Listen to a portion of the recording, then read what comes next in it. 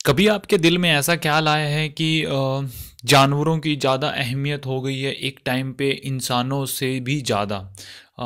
इस सिचुएशन को थोड़ा सा क्लियर कर देता हूँ। सपोज़ करो आपके सामने एक इंसान मर रहा है और एक जानवर मर रहा है। तो सबसे पहले आप किसको बचाओगे? काफ़ी सारे सोचेंगे, यार, ये क्या बेतुका सा सवाल है? देखो, ये बेतुका सवाल नहीं है, ये मूवी के अंदर दिखाया गया है। मैं बात कर रहा हूँ डो लिटल मूवी की, जिसे डायरेक्ट राइट स्क्रीन प्ले एक ही इंसान, स्टीफन गगन ने किया। देखो, नाम की जो प्रोनाउंसिएशन है, देख लेना यार। मुझे थोड़ा सा स्टीफन स्टीफन बोलना है लास्ट का गगन, मुझे नहीं पता वो कैसे प्रोनाउंसिएशन करते पता ही है जो इंग्लिश नेम होता है ना, वो थोड़ा सा अलग ही उनका एक्सेंट होता है बोलने का तो मेरा शायद अलग हो सकता है तो देख लेना। वैसे मूवी में आगे बढ़ने से पहले एक छोटी सी चीज़ है जो मेरे दिमाग में बार बार है। ये देखो यार, आप कभी देखो ना आप अगर कोई भी मूवी अब आने वाले टाइम में जैसे अभी थोड़े टाइम पहले रिलीज़ हुई हैं, कुछ एक मूवीज़ उनमें अगर आप देखो उनके डायरेक्टर तो साथ ही साथ आप एक चीज़ बड़ी इंटरेस्टिंग सी मिलेगी। उनमें अब डायरेक्टर स्क्रीन प्ले राइटर ये सारे, ये तीन काम एक ही इंसान कर रहा है। देखो यार मल्टी टैलेंटेड दुनिया होती जा रही है। अगर अगर आप लोग, अभी भी मल्टी टैलेंटेड नहीं हो रहे हो मल्टी टैलेंटेड का मतलब अगर आप डिफरेंट डिफरेंट टाइप के काम एक साथ नहीं कर सकते हो तो देखो आने वाले टाइम में मुश्किल होने वाली है। ये मुझे देख के लग रहा है ऐसा।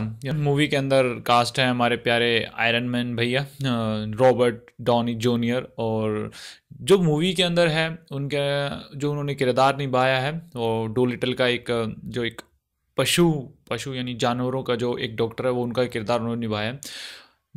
जो ये इस मूवी के अंदर डिफरेंट डिफरेंट टाइप के जानवर भी हैं, जिनका रोल रोल क्या? मतलब कि उनकी वॉइस जो है वो हैरान हो जाओगे। मैंने भी जब देखा था ना यार, इनकी की वॉइस भी है, जैसे कि Tom Holland Spiderman Iron Man भैया के चेले और John Cena Selena Gomez etcetera etcetera etcetera और बाकी आप देख लेना गूगल कर लेना यार, मैं इतने नाम नहीं ले सकता। कहानी सिंपल है, एक डॉक्टर है डोलिटल जो जानवरों से बात कर सकता है और उसी, इसी खूबी के कारण क्या होता है कि वो जानवरों का इलाज शुरू कर देता है।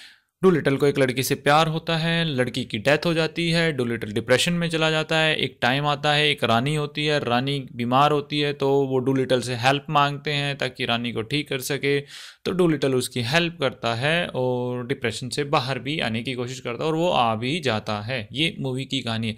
और ये मत सोचना कि कोई टांका वांका भिड़ गया होगा उस रानी का डुलिटल के साथ। ऐसा कुछ नहीं है, ठीक है ना? ये गंदे गंदे ख्याल निकाल देना दिमाग में से। अब अगर मैं बात करूँ मूवी में क्या अच्छा है, ये हम पे कोई इम्पेक्ट डालती है, हमें कुछ सिखाती है तो मेरे व्यू से तो ऐसा कुछ है नहीं कि आपको कुछ इस मूवी से बहुत बड़ा इम्पैक्ट आपके ऊपर डालेगा। खैर मूवी के अंदर एक एक सीन है जो मुझे काफ़ी मुझे काफ़ी पसंद आया। जैसे कि एक एक जानवर की जान बचानी होती है डोलिटल को और एक रानी एक इंसान की जान के वो कहता है डोलिटल कि मैं सिर्फ़ इस जानवर की जान बचाऊँगा अभी। बाद में उस इंसान को देखूँगा। देखो क्या है कि अभी फ़िलहाल जैसे मुझे ये कहीं ना कहीं सही भी लगता है। आ, अभी जैसे ऑस्ट्रेलिया के अंदर दस हज़ार ऊँटों को गोली मार के गोली मारने के आदेश दिए गए ताकि ग्लोबल ग्लोबल वार्मिंग कम हो जाए। कमाल की बात है ना मतलब ऊँटों को मार के ग्लोबल वार्मिंग कम की जाएगी ऑस्ट्रेलिया के अंदर। क्या दिमाग है लगाया है लोगों ने?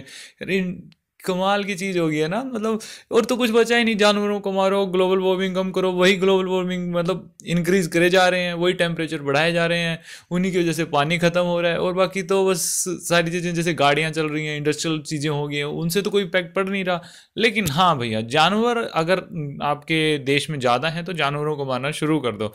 ऐसा है आप अगर अखबार अखबार पढ़ के देखेंगे या फिर एक ऐसी न्यूज़ आप सर्च करके देखेंगे गूगल के ऊपर तो आपको मिल जाएगी कि ऑस्ट्रेलिया के अंदर दस हज़ार ऊँटों को गोली मारने के आदेश दिए गए तो अगर ऐसे हालात हो रहे हैं तो भैया मुझे ऐसे ही लगता है कि इंसान अगर मर रहा है और एक तरफ़ जानवर मर रहा है तो भैया जानवर को ही बचाओ क्योंकि इंसान आजकल इतनी निर्दयता पे पहुँच चुका है कि अपने फ़ायदे के लिए वो किसी का भी आ, किसी को भी मार सकता है किसी भी हद तक वो जा सकता है। बच्चों को मूवी बेशक पसंद आ सकती है। एडल्ट की बात करूँ तो एडल्ट इस मूवी को इतना सीरियसली नहीं लेंगे, ना उनके ऊपर कोई इम्पैक्ट पड़ेगा। मूवी के अंदर इतना कोई इमोशन नहीं भरा है कि आपको जैसे जब डू लिटल की वाइफ की डेथ होती है तो वो एक दुखी दिखाते हैं तो वो दुख हम पे ना तो इतना इम्पैक्ट डालता है। और दूसरी चीज़ कॉमेडी मुझे कहीं नहीं लगी। इतनी ज़्यादा कोई कॉमेडी मुझे नहीं लगी। मैंने सोचा, यार कॉमेडी होगी, लेकिन कॉमेडी इसके अंदर भी नहीं थी। एक्शन कुछ नहीं थे प्रडिक्टेबल चीज़ें थी कि हाँ इसमें ये चीज़ हो रही है, ये हो जाएगी। और बिल्कुल ईजी से टास्क थे कि कुछ लेके आना था तो वो बहुत ईजीली हो गया। तो इतना कुछ ज़्यादा इसके अंदर मूवी के अंदर नहीं था। खैर मूवी ठीक थी, मुझे ये मैसेज थोड़ा अच्छा लगा कि आजकल जैसे कि ऊँटों को मार के जो चीज़ें कर रहे हैं ग्लोबल वार्मिंग को एक बहाना बना रहे हैं, सिर्फ़ जानवरों को मारा जा रहा है, वैसे ऑस्ट्रेलिया में ऊँटों को इतना पसंद भी नहीं करते। हैं खैर यार ये जो चीज़ जो हो रही है कहीं ना कहीं ऐसे बुरा लगता है कि यार, कहाँ एक इंसान जा रहा है कि इंसानियत तो उसके अंदर ख़त्म होती जा रही है। तो उस लिहाजा से तो इंसान को ये मूवी देखनी चाहिए कि जानवरों से शायद थोड़ा बहुत लगाव हो जाए, वो जानवरों का कत्ल करना छोड़ दे। तो मुझे लगता है कि थोड़ी बहुत मूवी चल जाएगी, लेकिन इतना इम्पैक्ट तो नहीं डालने वाली है किसी के ऊपर। खैर, मेरी तरफ़ से इस मूवी को मैं देना चाहूँगा five out of ten star अगर आप लोगों ने मूवी देखी है तो प्लीज़ कमेंट करके आप बता सकते हैं कि आपको कैसे लगी। Thanks for watching this video मिलते हैं नेक्स्ट वीडियो में. जय हिंद.